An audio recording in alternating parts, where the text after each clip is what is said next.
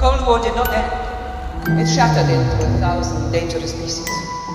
The West has grown weak, drunk on shopping and social media, torn apart by hatred between the races.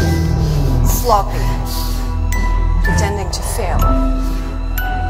The ceremony is necessary And as a result, the world is in chaos. for you to take your place in the world. Place in the world. Exactly. Only Russia is willing to make the sacrifices required for peace. For there to be peace, we must once again place ourselves at the head of nations.